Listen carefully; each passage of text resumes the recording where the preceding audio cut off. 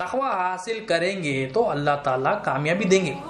और अल्लाह ताला तखवे वालों के बारे में हदीस शरीफ में आया है। नबी करीम वसल्लम इरशाद फरमाया, एक सहाबी रसूल या रसूल वसल्लम, वो कौन सा अमल है जिस, जिसको करने से कसरत से लोग जन्नत में जाएँगे? नबी करीम वसल्लम ने इरशाद फरमाया, तखवा और इखलास। तखवे वाला, तखवे वाले जो होते हैं, तखवे पर अमल जिसका होता है, कसरत से जन्नत में जाएँगे। कसरत से। तो जन्नत में जाने के लिए जो रिक्वायरमेंट जो ईमान, जो रिक्वायरमेंट हमने, इस्लाम, ईमान, एहसान, जब तखवा हासिल हो जाएगा तो तखवे वाला कसरत से, तखवे वाले जो होते कसरत से जन्नत में जाएँगे और हदीस कंटिन्यू चली नबी करीम वसल्लम से, वो सहाबी रसूल ने पूछा, या रसूल वसल्लम दोजख में जाने वाले जो होते हैं, उन कसरत से जो जाने वाले उनका अमल क्या है?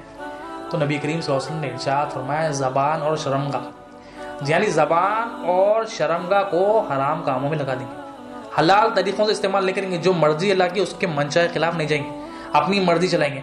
मगर जो तखवे वाला होता है, जो इखलास वाला होता है, नबी करीम वसल्लम क्या फरमा रहे हैं? कसरत से जन्नत में जाने वाले ये तखवे वाले उनका अमल क्या है? जो कसरत से जा रहे हैं, तखवा।